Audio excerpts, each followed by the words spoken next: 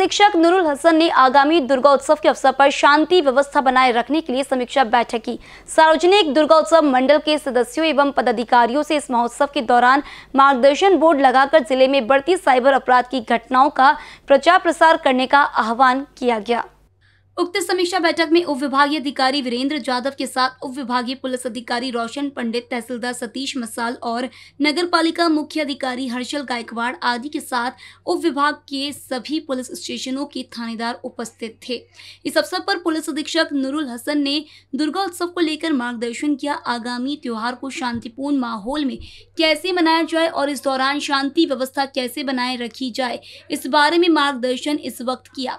बैठक के दौरान पुलिस अधीक्षक अधीक्षक ने कई निर्देश दिए। उप विभागीय अधिकारी जाधव ने नागरिकों से निर्देशों का पालन करने का आह्वान करते हुए तालुका में उपस्थित दुर्गा मंडल के पदाधिकारियों को मार्गदर्शन किया। नवरात्रि उत्सव के अवसर पर पुलिस विभाग कई दुर्गा मंडलों में बढ़ते साइबर अपराध के बारे में नागरिकों को, शिक्षित करने और नागरिकों को विभिन्न साइबर अपराधों के बारे में जानकारी देने के लिए एक कार्यक्रम भी आयोजित करने के लिए जानकारी दी और सहयोग करने का आह्वान किया।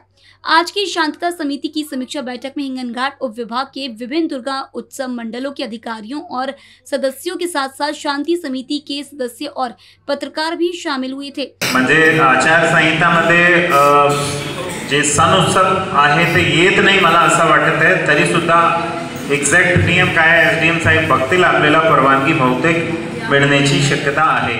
एनबीसीएन न्यूज़ के लिए हिंगनघाट से रवि यनौरकर की रिपोर्ट।